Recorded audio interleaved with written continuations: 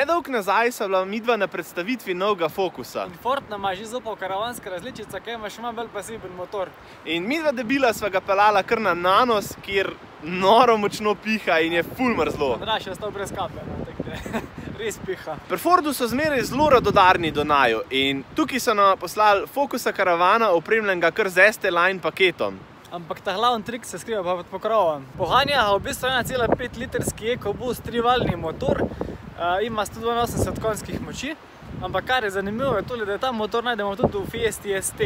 Ima lih malo manj konjev, ampak ima lih tak možnosti sklopa enega valja, kar pomeni, da dela sem na dva valja. Moja pričakovanja glede porabe so bile taka, da 180 konjev ni tako mal in sem mislil, da bo precej žejn. Ampak lahko priznam, da me je res pozitivno presenetil. Poraba je bila tam med 6 in 6 litri in pol, kar se mi zdi za taka konjenica super. Zdaj pa Kazun je res ekstremno zebe in piha, gremo mi dva malo nižji, tam kjer je malo več sončka, pa mogoče malo manj vetra, da se pa tudi vse skupaj malo bolj slišali. Um, ampak so bila pa oba zdaj prvič gor na nanosu, če lahko temu tako rečemo. Pod nanosom. Um, pod nanosom v bistvu, ja. In moram reči, da je pokrajina res vrhunska, tako da, ko pride ven test pa fotke, pejte si pogledat, kaj bo res vrhunske.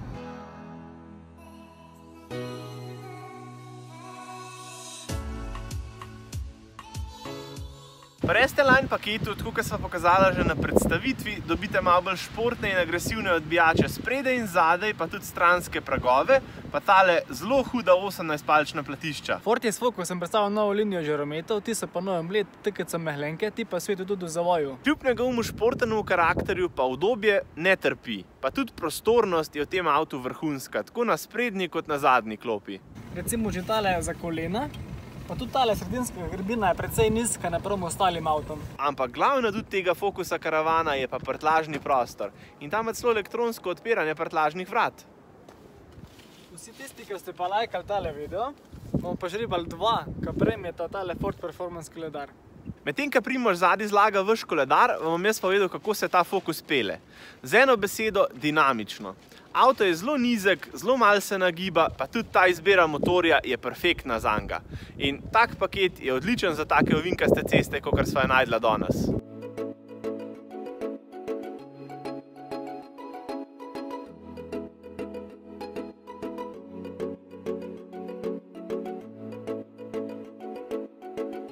Kot nam je že znano, ima tale Focus ogromno opreme. Tukaj najdemo digitalne števce, tale Sync 3 ima navigacijo, pa vse ostalo je tudi v bistvu največji zaslon. Najdemo tudi karbonske dodatke, v bistvu je imitacija, ni, ni to prav karbon, ampak še zmeraj je luštno. No. Zraven tega športnega karakterja kar paše. Novosti pri Focusu pa se ne končajo sem pri digitalnih zaslonih, ampak tudi elektronska ročna zavora, pa vozni profil Italije ima Eco, Normal, pa Sport. Ena stvar, ki sva jo oba danes zelo vesela, je pa to, da je Focus opremljen tudi z zimskim paketom. Ta vključuje ogrevana sprednja sedeža, volan, pa tudi vetrobransko steklo. Tudi z asistenčnimi sistemi je tale Focus v samem vrhu v svojem segmentu.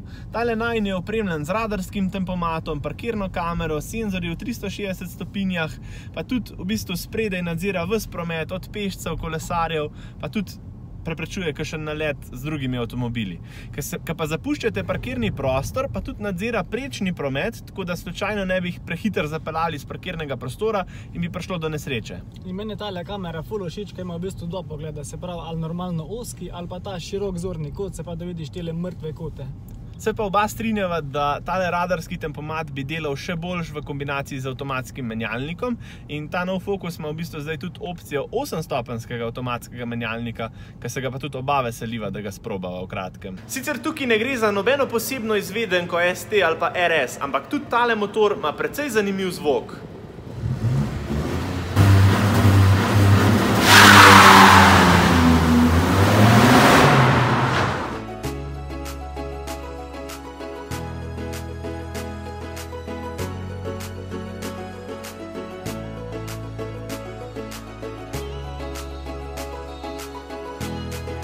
Tem norim razgledom in sončnim zahodom midva zaključujeva test tega le fokusa karavana. Jaz vam še ena stvar zapovedati o tej barvi. Najprej, ko sem ga dobila, sem bil zelo žalosten, zakaj nisva dobila tistega živega modrega. Ampak zdaj mi je pa zelo parasla k srcu. Res predstavljata prav paket opreme, tehnološko in zunanjost, tako da Res, ta prav paket za družine. In To je to. Če še niste subskrbali, hitro kliknite v rdeč okvirček spodaj, pa se vidimo v naslednjem vlogu. Pa ne pozabite na nagradno igro.